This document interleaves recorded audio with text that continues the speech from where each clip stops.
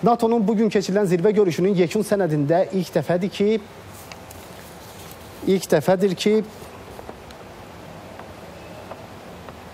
üzr istəyirəm, Cənubi Qafqazla bağlı bənd çıxarılıb. Əslində NATO bununla bir neçə açıq mesaj vermiş olur.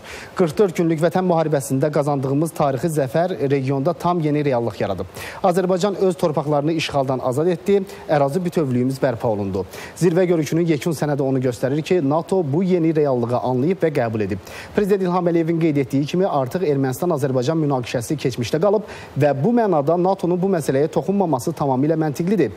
Zirvə görüşünün yekun sənədindən Cənubi Qafqazla bağlı bəndin çıxarılması olması həm mövcud danışıqlar formatı ifadəsinə istinadın olmaması deməkdir. Bu da başa düşüləndir. Tarixi zəfər nəticəsində Azərbaycan özü Ermənistanın 30 ilə yaxın işğalına son qoydu. BMT Təhlükəsizlik Şurasının məlum 4 qətnaməsinin icrasını təmin etdi. Təəssüf ki, ATƏT-in Minsk qrupu münaqişənin həlli istiqamətində heç bir irəliləyişə nail ola bilmədi.